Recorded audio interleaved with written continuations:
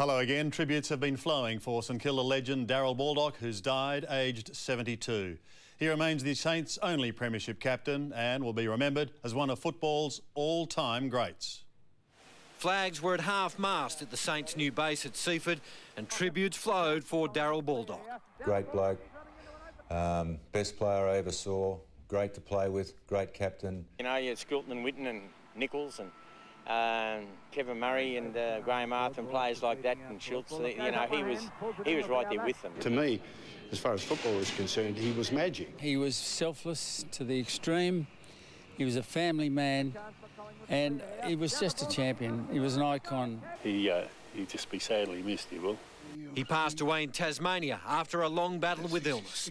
He could still drink more than you, and he could still eat more than you. he was he was great, you know. A legend of both the AFL and St Kilda Hall of Fame, he played 119 games for the Saints, but was also a horse trainer and parliamentarian. St Kilda will honour Baldock when the season starts, but surely the ultimate would be for the Saints to do this year what Doc and his mates did back in 66.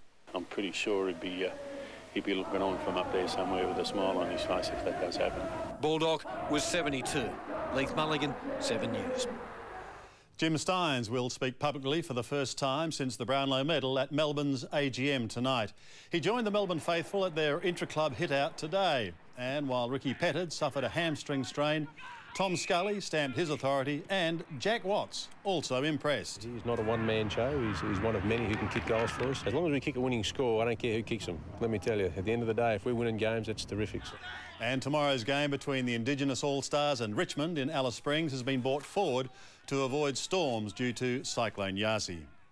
Australia's great run chase against England has been soured by yet another injury.